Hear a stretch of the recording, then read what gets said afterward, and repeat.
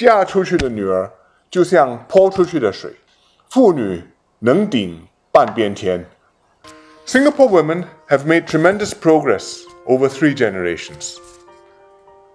Today, young girls grow up in an environment that their grandmothers could not have imagined when they themselves were children.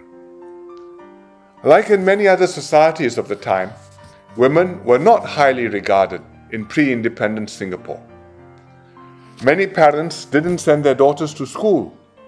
They expected female children to be filial daughters, dutiful wives, and nurturing mothers.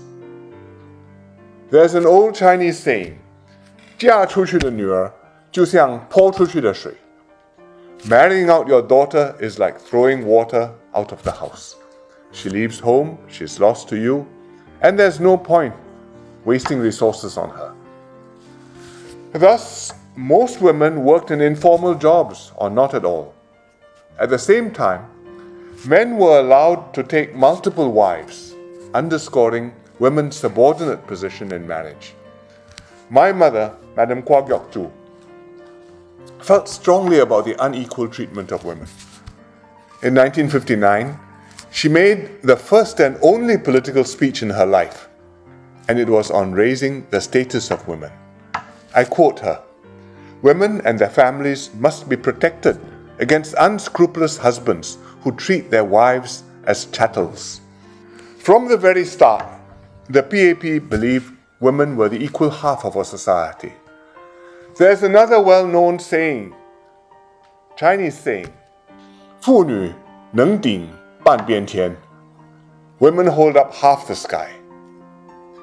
And indeed, my father valued the opinions and advice of his life partner in every aspect of his life bringing up the children, taking care of the family's needs, sizing up people, discussing issues of the day. He loved and respected my mother. She was always his wise confidant, his equal.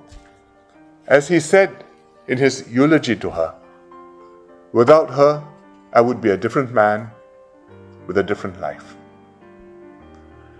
Because Mr. Lee and our founding leaders were determined to build a fairer and more equal society, they moved swiftly to protect women's basic rights and interests. In 1961, the PAP government passed the Women's Charter. The Charter institutionalized the equal standing of men and women in marriage and provided for the welfare and protection of women in Singapore. Year after year, the progress continued. Healthcare services for women improved. Family service centers and crisis shelters were set up to support vulnerable women and families in need. The Women's Charter was periodically updated to keep the institution of the family a strong pillar of our society. Most importantly, we implemented universal education so that both boys and girls could attend school. 关注我们， 你想知道的一切新加坡生活资讯都在新加坡眼。